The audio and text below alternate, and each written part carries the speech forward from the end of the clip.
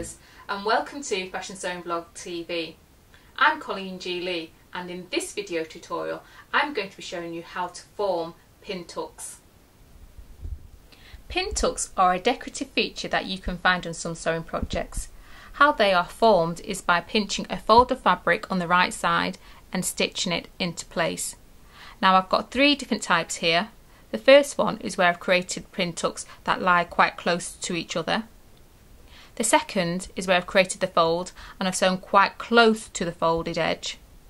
And the third is where I've made sure there's space in between each tuck. All three pin tucks are created by using a simple grid like this, where it's one centimetre or 5 eighths of an inch space in between each line. I'm going to be showing you how to film the first pin tuck and we're going to be using this grid here so we need to get a pin, place it into the first line, you're going to miss the second line and then bring your pin through to the third line. So you're basically pinching and then you have a line in which to follow, making sure you put your pin through the first line and it comes through the third line I'll just put one more. Pin through making sure it comes through second line. And then turn my work over. Position the pins to keep the tuck in place. And then all that is required of me is to take it to the sewing machine and stitch along this line.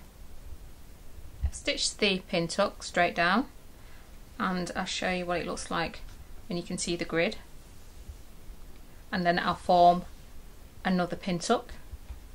So we're going to put a pin in the first line, miss the second and get into the third line and just pinch your work all the way down. Making sure that the second line is central. Place a pin. Place another pin. And you take it to your sewing machine again and then you do another row of stitching. I'm now going to show you how to do the narrow pin tucks and it's the same method as we did for the first one. Again you're putting a pin into your first line and it should come through on your third line and you're pinching your work and again do the same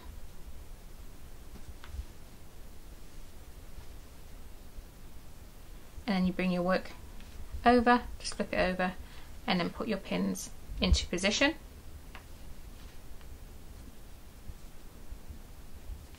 But this time I won't be sewing on the drawn line, I'll be sewing 3 millimeters from the edge so I'll be doing a straight stitch all the way down the fold. For the narrow pin tucks we sewed 3 millimeters from the folded edge and I'll just turn that over and that's created that very fine narrow pin tuck. We need then to move on to the next line and doing the same thing again where I'll just be pinching and then placing my pin in position. So I'm just using one line here because I want it to be close together and I want it to be narrow all the way down and then it'd be a case of fold that under and then do another line of stitching all the way down on the near the fold. The third and final pin tuck is a tuck and a space, tuck and a space. So how you form that is very similar to the first one where you be getting your pin, placing it into the first, making sure you're creating a fold and then bringing it through to the third. And then you've got an alignment in which to follow. Put your pin through. Now you've created a fold. And then turn your work over and position your pins. And then you do a line of stitching along that line. The pin tuck is now sewn in place So I'll bring it to the right side. Now in order for us to create a space, we need to miss one line. I'll just turn my work over.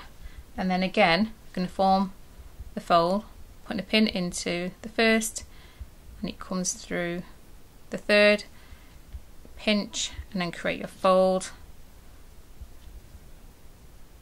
And place your pins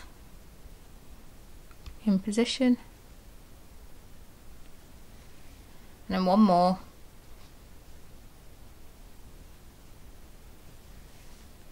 And fold it over.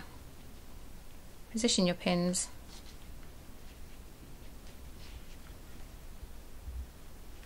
And then it's ready for another line of stitching with a space in between each tuck. I'm going to give you a little tip here. If you're thinking of using pin tucks in your sewing project and you want to do a whole sleeve or a bodice with any form of pin tucking, pin tuck your fabric first, then place your pattern piece on top of your fabric and then cut around. Don't forget to subscribe to Fashion Sewing Blog TV for free weekly video tutorials and if you have any comments or queries put them in the comment box below and I'll see you next time.